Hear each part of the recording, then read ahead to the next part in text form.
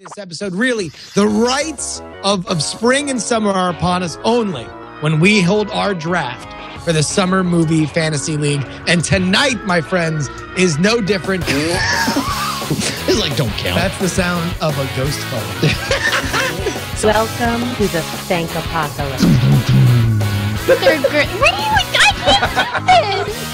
This is ridiculous. young girl and her father who live in this place called the bathtub. Oh no, a Central Florida man? Yeah, yeah. Crazy, but only in the middle. Excelsior! If they were using 27 inch laptop uh, tablets.